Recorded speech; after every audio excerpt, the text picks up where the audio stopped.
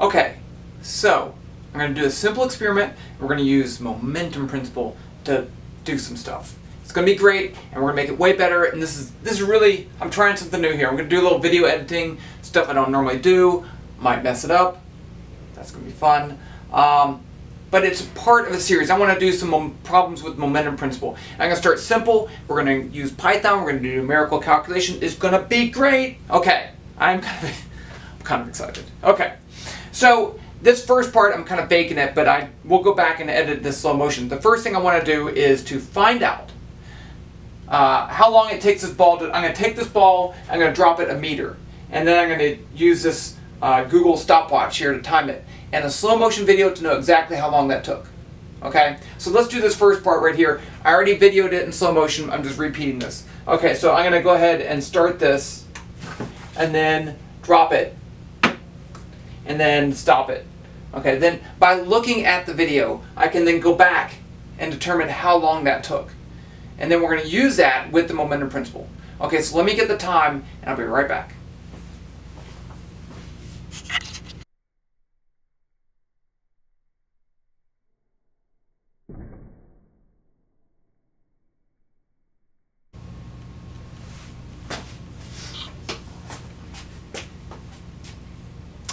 Okay, so I'm back.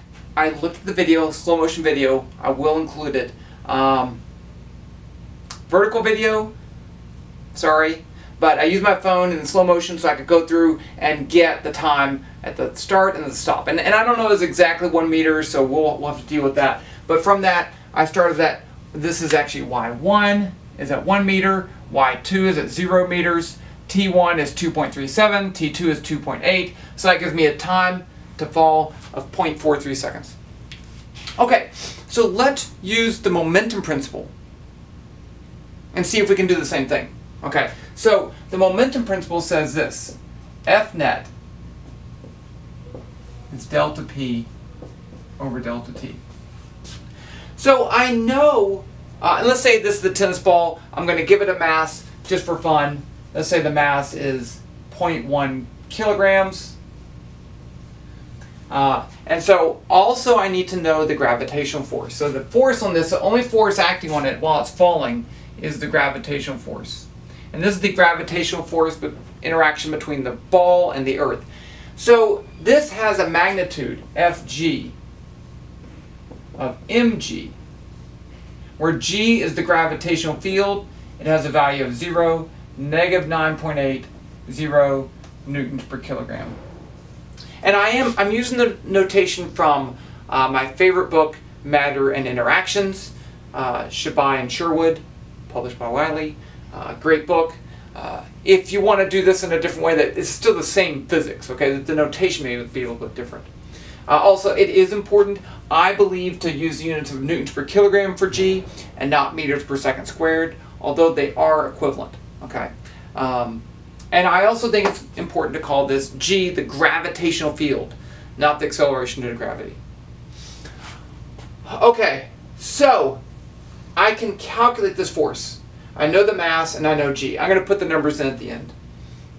I know mass, I know G, that's the gravitational force, mg equals P2 minus P1 over delta T. And I, I measured delta T, I already did that, okay. Uh, so let's see how we're going to calculate how far it fell. Um, we could do it. We could do it. We, we have two things here. We have the distance and the time. One of them we have to assume, and one have to calculate. Let's just start working on it. Oh, that's g. Okay, if I release this from rest, the initial momentum up here is zero. P1 is zero. But I can still solve for P2. So let's solve this for P2. I'll multiply both sides by delta t those cancel. And then I'll add P1 to both sides, and I get P2 equals P1 plus mg delta t. Now I notice vector, vector, vector. You can't add vectors and scalars, so these are all vectors. Now, uh, P1 is 0, the 0 vector. So that means P2 is just going to be mg delta t. And this is going to be m v2 equals mg delta t. Since momentum is m times v for slow moving objects. The mass cancels and I get v2.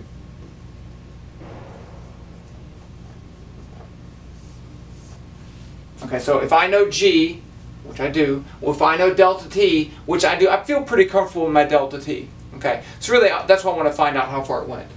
Then I, I know the final velocity. Now, there's something else I can find, and that's the average velocity. Let's, I'm going to erase all this stuff, and let's put, let's do the average velocity. Uh, delta, let me write delta, delta t is 0.43 seconds. That's important. The rest of the stuff I can delete. Delete. I'm deleting the board. That's what I said. I said I'm deleting the board. I've been using a computer too much.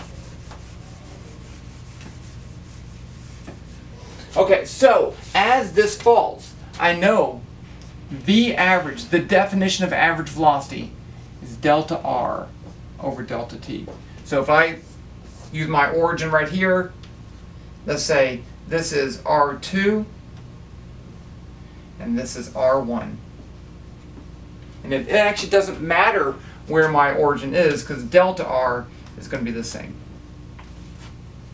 And, and really that's what I want to find. I want to find delta R.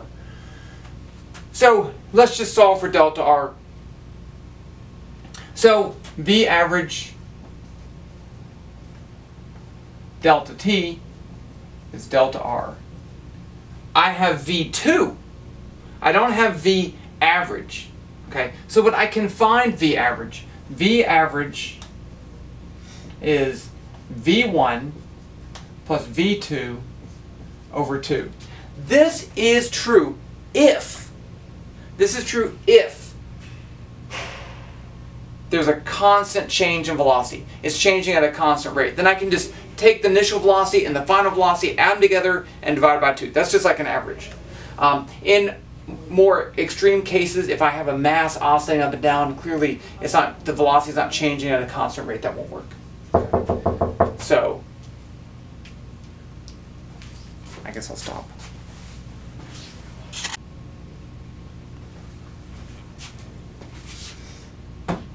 Where was I? Okay, so V average is V1 plus V2 over 2. Uh, I also know V2 is that. Okay, so I can put all of this together. I can put this with delta R over delta T. That's the two definitions of V average. So let's solve for delta, delta R. Delta R is going to be uh, V1 plus V2 over 2 delta T. And now I'm going to use that for V2 and put that in and I get V1 plus G delta T times delta T over 2. Um, that I, I cheated really because there could be another V1 in here, but but V1 zero. Okay, so I'm going to have to get rid of this already.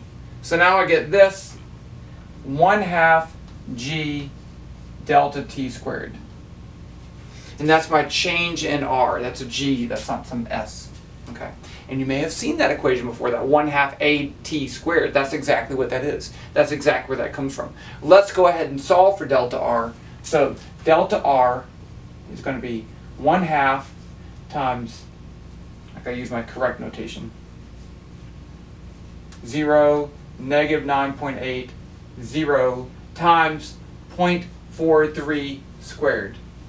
So delta R, I know is going to have a 0 component in the x direction and a 0 component in the y direction because this vector has zeros. The only thing that can change is in the y. Okay, let me pull out my little calculator here.